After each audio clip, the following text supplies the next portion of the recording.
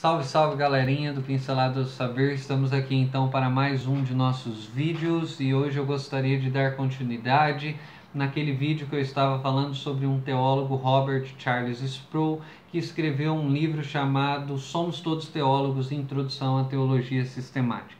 Na última videoaula eu fiz uma divisão ou uma tripartição entre três ramos do conhecimento da teologia. O primeiro ramo seria uma teologia histórica, o segundo ramo seria uma teologia, uma teologia ah, bíblica e o terceiro ramo seria uma teologia sistemática.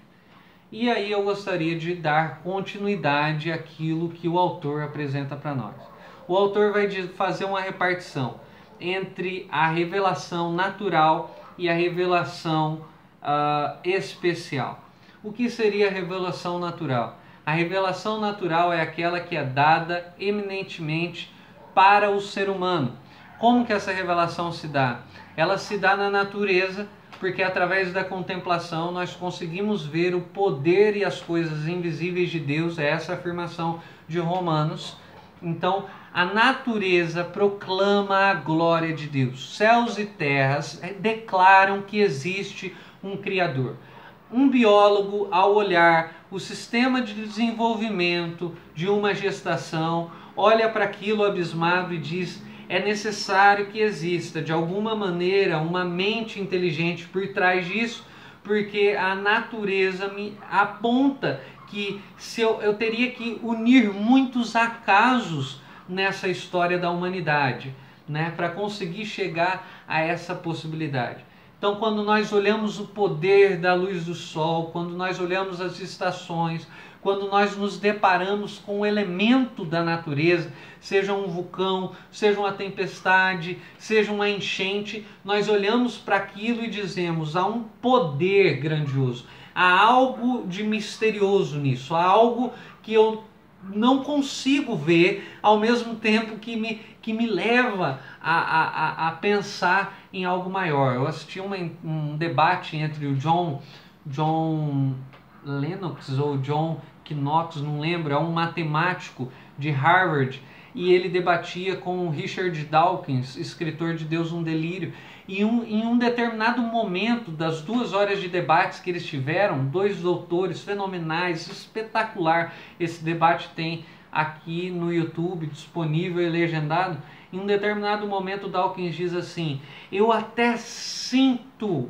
a vontade de, quando eu olho para a natureza, de atribuir essa magnitude, essa grandeza a um Criador. Mas aí ele diz: Mas me falta evidências, né? porque ele é um cientista. E isso é interessantíssimo, porque é isso que o teólogo está dizendo. Existe uma revelação natural, existe algo que está dado para o homem na natureza. Mas a revelação natural, ela também acontece através da nossa própria consciência. Isso significa que existe um DNA de Deus posto dentro do ser humano. Existe uma consciência, existe uma conscientização, né? Em que momento foi dada essa consciência? Em que momento foi dada essa racionalidade? Em que momento foi dado é, essa capacidade de reflexão, de reflexão sobre a morte, de reflexão sobre a existência, de reflexão sobre questionamentos como por que eu estou aqui, da onde eu vim, para onde eu vou? Isso daí é a imagem de Deus ou a imagem da criação de Deus posta posta em nós, que é justamente a própria consciência, vamos dizer assim, a razão. Então nós temos duas evidências da existência de Deus, que seria a própria natureza que demonstra isso e a nossa própria consciência, a nossa própria existência. Ele vai dizer sobre uma revelação especial.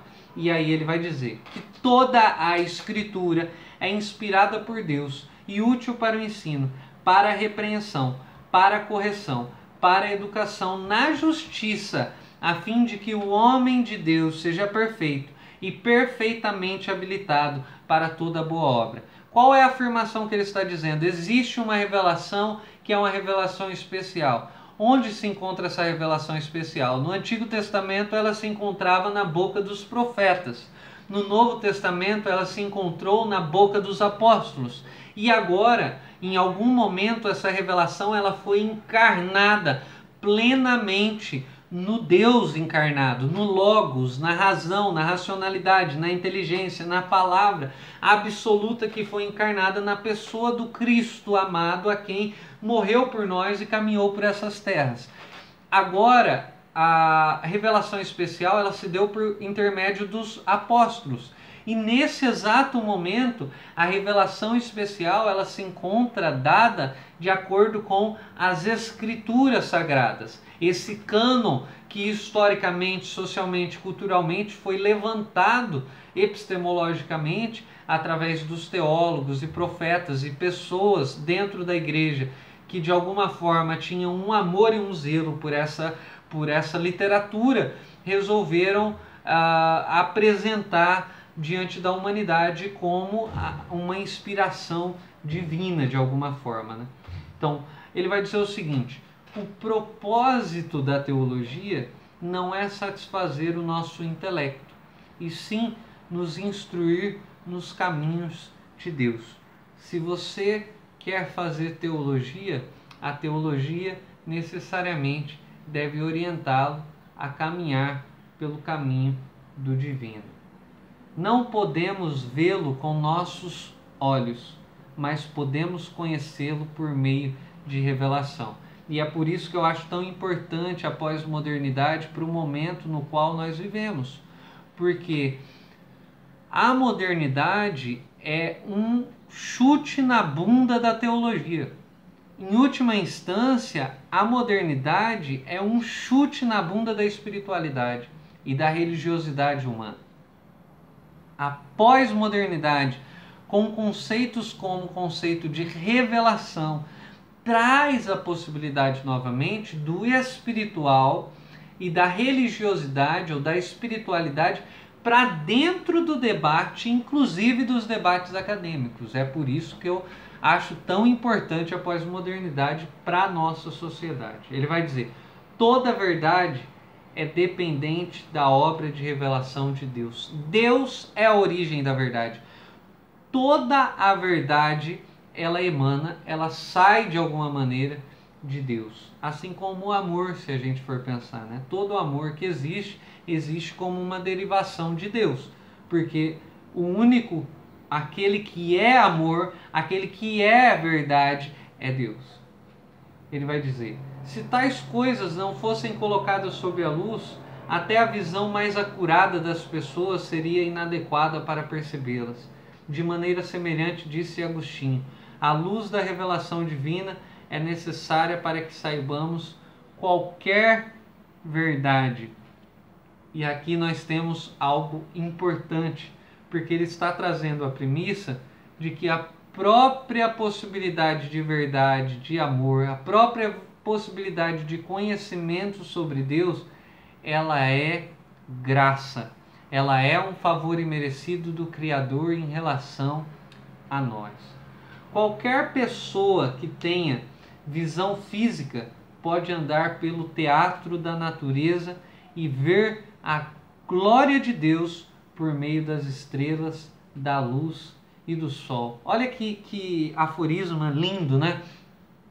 Qualquer pessoa que tenha visão física pode andar pelo teatro da natureza e ver a glória de Deus por meio das estrelas, da luz e do sol. E aí ele responde dizendo que aqueles que também não têm a visão física também podem caminhar por essa natureza, não com as nossas vistas, mas com a nossa consciência, com os nossos relacionamentos, com os nossos afetos, com os nossos sentimentos.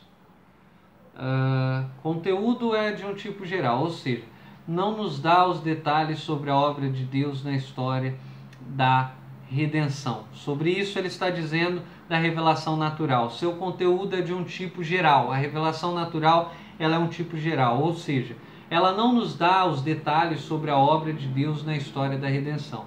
Já a revelação espiritual ou a revelação especial que é a Bíblia dá muito mais informações detalhadas sobre a obra e o plano de Deus. Ele vai dizer: a revelação de Deus que vem por meio da natureza é a que nós chamamos de revelação natural. É por isso que nossa consciência e nossa racionalidade se encaixa ainda na revelação natural, porque nós somos participantes e criaturas da natureza de Deus. É, ele vai dizer: não vemos o Deus invisível, mas vemos realmente o mundo visível. E isso traz para nós a revelação de Deus. Depois ele vai fazer uma distinção entre a revelação mediata e a revelação imediata. Aquilo que media a revelação de Deus é a natureza.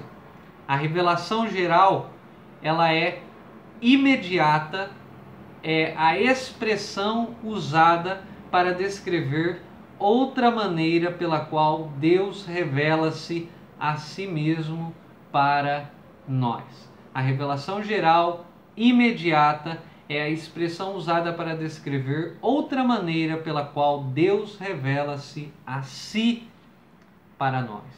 E aí eu parei especificamente aqui nos meus, nos meus resumos no capítulo 5, que eu pretendo dar continuidade na próxima videoaula, que vai falar sobre a inspiração e a autoridade da Bíblia, ou a inspiração e a autoridade das Escrituras Sagradas. Espero que você tenha gostado do nosso vídeo. Espero que esse vídeo tenha de alguma forma clareado algumas coisas na sua cabeça. Não se esqueça de clicar no sininho, se inscrever no canal. Não se esqueça de fazer o seu comentário abaixo, divulgar, compartilhar com seus amigos. E é isso aí. Até o próximo Pinceladas do Saber. É hora de dar